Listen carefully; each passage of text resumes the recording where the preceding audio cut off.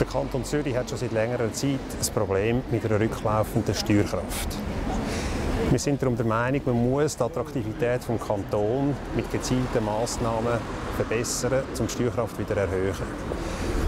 Die Initiative der Jungsozialisten will die tiefen und die mittleren Einkommen im Kanton entlasten und die guten und hohen Einkommen massiv steuerlich mehr belasten. Man redet von bis zu über 30 Prozent. Die Umverteilungsaktion ist unnötig und im Kontext der Steuerkraftsdiskussion auch total kontraproduktiv. Wir lehnen die Initiative darum klar ab.